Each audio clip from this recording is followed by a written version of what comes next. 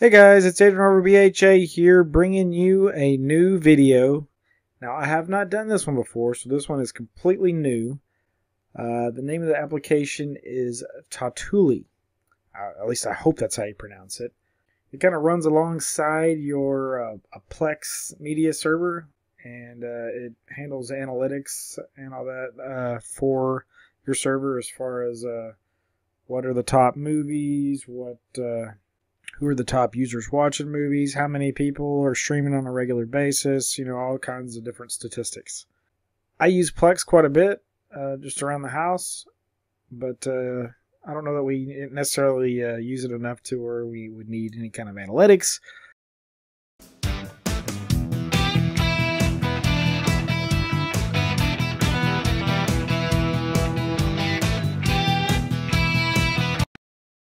is something cool to play around with. And of course, there is a component for Home Assistant, so we'll be able to pull in those statistics into Home Assistant as well and use them with any existing uh, automations or uh, scripts and switches, whatever else you want to do with them in Home Assistant.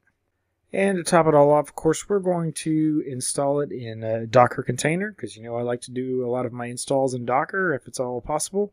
Uh, so of course we're going to use Docker Compose for that, so that'll be pretty cool as well. Alright, so let's do a quick run through of everything we're going to cover in this video. So of course, uh, for starters, uh, there's a few prerequisites that we need to do to uh, make this all work correctly. Uh, we need to create a config directory on our Docker host machine that we are going to use to store the Tautulli uh, or config files. Next, you need to provide access uh, for Tautulli to access your Plex logs. Now, uh, of course, if it's running on the same machine as uh, Tautulli is going to be running, it certainly makes it easy. Uh, you just point it at that uh, share on that machine or that directory, and it'll be able to pull the logs right from there. I have Plex running on a totally different machine, so I'm going to use a uh, Samba share or a network share uh, for it to access the Plex logs. So that'll be my second uh, Second step here will be mounting that network share. Once that's ready to go, then we will install Tautulli in Docker using Docker Compose. After that, then of course we'll kind of see what that looks like in action. Uh, the next step will be to then add our Tautulli uh, server into Home Assistant with the Tautulli component. And then of course lastly, I'll just show you what that looks like in Home Assistant. So let's get started.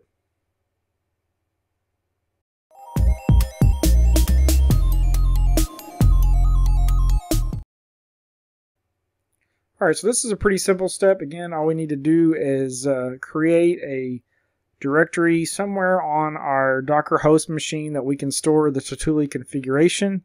This will be just uh, so that in case we blow out that uh, Docker uh, container and rebuild, as long as we point it back at that same directory, of course, we won't have to do anything else. You could choose to use a Docker volume if you wanted to, but by doing it this way, if we wanted to edit the configuration outside of uh, the Docker container itself, then we can do that easily.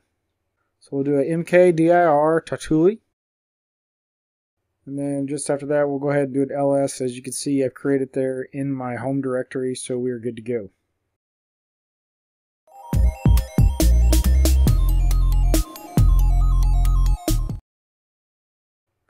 Alright, so as I said before, this step is somewhat optional uh, depending on how you have your Plex configuration or your Plex server set up.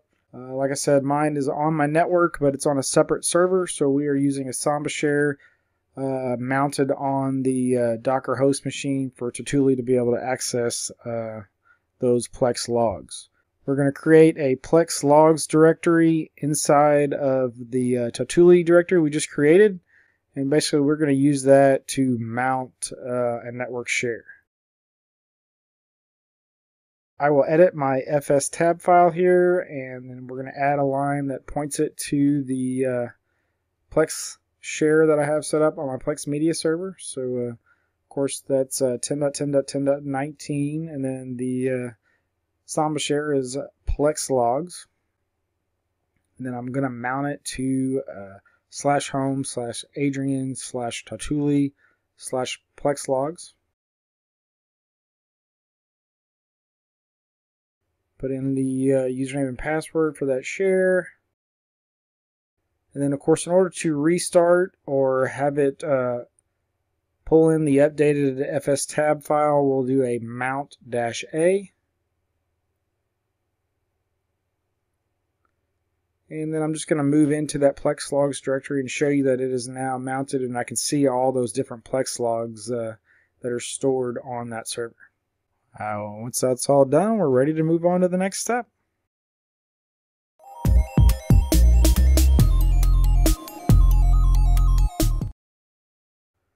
Alright, so of course we're ready to install uh, Tautulli using Docker Compose. So we're going to edit our uh, docker compose.yaml file here. We'll find an open spot down here at the bottom. Now the name of this uh, container for me is just going to be Tautulli. We're going to set the restart to uh, always. Now for the volumes, we just need to set up two volumes. One is going to be for the config directory. The second volume is just so it has access to the Plex logs. So we'll do a slash home slash Adrian slash Tautulli slash config colon slash config. And then that second one is slash home slash Adrian slash Tautulli slash plex logs colon slash plex underscore logs.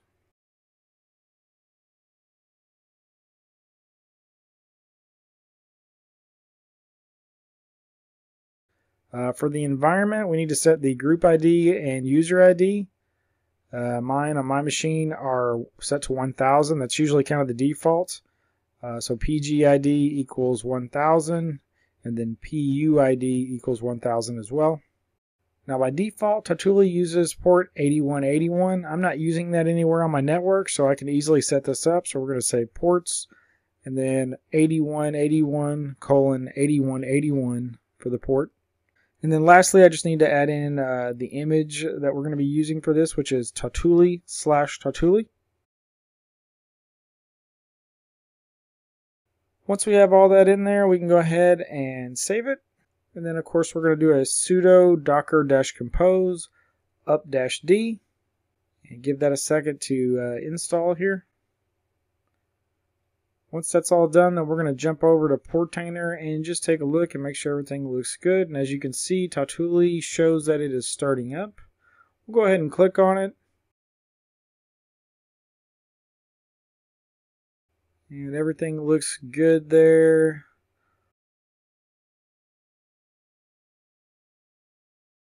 Directories are showing up. We'll jump over to the logs.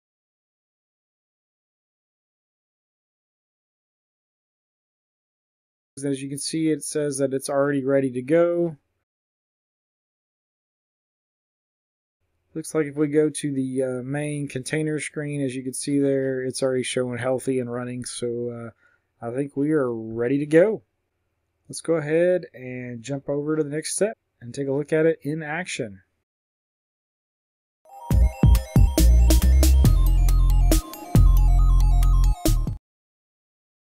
All right, so when you first pull up the uh, Tautulli web server, which you'll go to the uh, IP of your Docker host, which for me is uh, 10.10.10.28 colon 8181.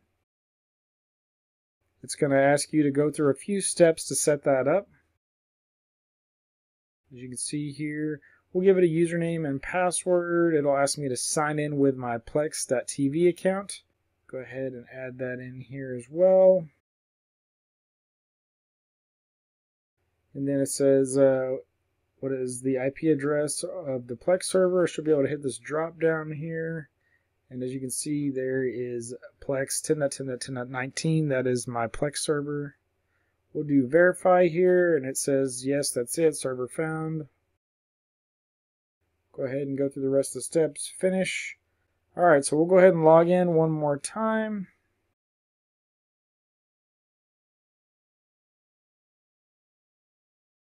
As you can see here, we are now logged into Tautulli. It's got a list of the recently added movies down there. Um, shows some of the library statistics as far as how many movies are there, uh, seasons of TV shows and whatnot.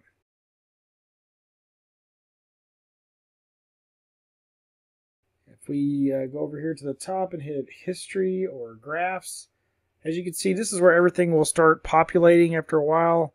Uh, it's so new uh, to install that it doesn't have any of those statistics yet. It'll take a, a little bit for it to start populating and pulling all that information in. Um, probably should have waited a couple of days uh, to finish out this video just so that you could actually see the graphs, but you kind of get the idea. So it'll have uh, the top users, uh, top top count uh, by hour of the day, daily play count. So it'll have all kinds of different information there. So that's pretty cool. Uh, a lot of analytics there that you can kind of play around with. But that's pretty much it. So let's uh, we're going to jump over to the next step and see if we can't get it added into uh, Home Assistant.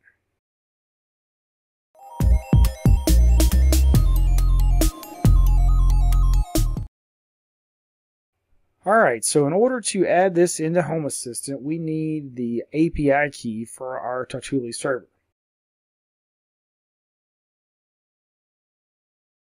Now that's under settings, and we'll go over here to web interface. Down towards the bottom, uh, there's a little section called API. It should be enabled by default. If it's not, you can say uh, enable API. It should have an API key already generated. If it doesn't, there's a button there. You hit generate. It'll create you a new API key if you want to do that. Uh, we'll go ahead and copy that because we're going to use that with our Home Assistant configuration. All right, so we're going to jump over to uh, Home Assistant, and I have that API key uh, already uh, saved in my secrets.yaml file. So we are going to edit my uh, sensor.yaml file, find an open spot down towards the bottom. The uh, platform, of course, is Tautulli. The API key, again, we're just going to point that at uh, the secrets.yaml file. So I have a uh, exclamation secret, and then I just called it Tautulli underscore API. Uh, the only other thing we really need is the host. And since ours is running on the same machine as everything else, we're just going to say 10.10.10.28. That is the IP of our Tautulli server. Once we have all that in there, we can save it, and then we're going to jump over to Home Assistant. We'll do a check configuration just to make sure everything looks okay, and then we're going to, of course, restart Home Assistant for it to pick up the changes.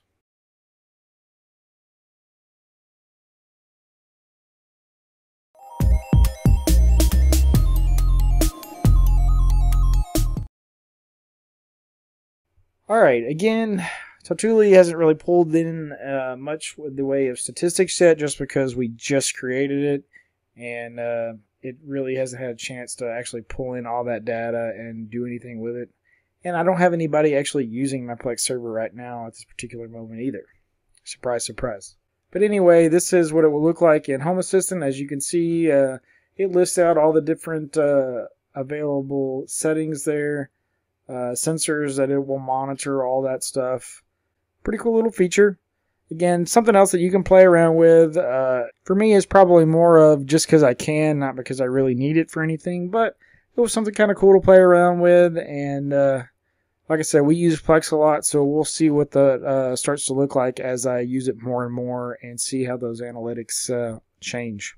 Other than that, that's pretty much it, guys. That's the end of this video. Let's do a quick run through of everything we covered in this video. So, of course, for starters, uh, we created a config directory for Tautulli on our Docker host machine. Uh, once that was done, I showed you how to use the fstab uh, file to mount a network share for our Plex logs. Once all that was uh, done and out of the way, we were ready to install Tautulli in Docker using Docker Compose. Then I just kind of showed you what that looked like in action. Uh, once that was done, we added it into Home Assistant, and then, of course, lastly, I just showed you what that looked like in action. Again, that's the end of the video, guys. Uh, like I said, it wasn't super hard to set up. Um, probably the hardest part is just making sure that you have the ability to access your Plex logs from this Tautulli server. Uh, especially if it's running on a different machine, then of course you'll have to create a Samba share or something in order to access it. And guys, if you have trouble with doing that, let me know. If you want to see a video on how to set up a network share or Samba share on uh, on a Linux machine that you can then access from other machines, just let me know. I can certainly put a video together for that. I want to thank everyone that has donated uh, or, or, sent me money uh, and bought me a coffee on my Buy Me a Coffee link. I really appreciate it. Every little bit helps. Uh, it's very kind of you guys, and uh, you definitely keep me going. That's for sure. Uh, if you liked the video, please subscribe to my channel. If you have any questions or comments, hit me up in the comments below. As always, if there are any videos out there that you would like to see that I don't already have out there, let me know in the comments as well, and I will see if I can't get something put together for you guys. Otherwise, I'll see you guys around. Thanks.